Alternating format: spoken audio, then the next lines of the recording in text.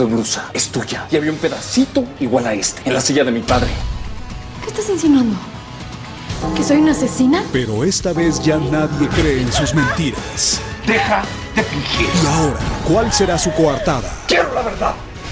Toda la verdad. Rosa Diamante, en sus últimos capítulos.